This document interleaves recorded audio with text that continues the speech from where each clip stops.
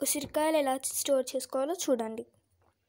ముందు ఉసిరికాయలని నూనెలో బాగా వేగనీయండి ఎర్రగాయ వరకు.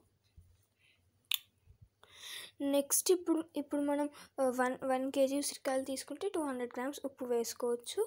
ఇలా చిన్న చిన్నగా కోసుకొని ఉప్పు వేసుకోవాలి. నిమ్మకాయలా ఇలా స్టోర్ చేసుకోవచ్చు మనం ఉసిరికాయని కూడా. మీరు కూడా ఇలాగే చేసుకోండి. మనకి ఎప్పుడు అవసరమైతే అప్పుడు ఉప్పు లేని కారం కలుపుకోవచ్చు. Bye bye.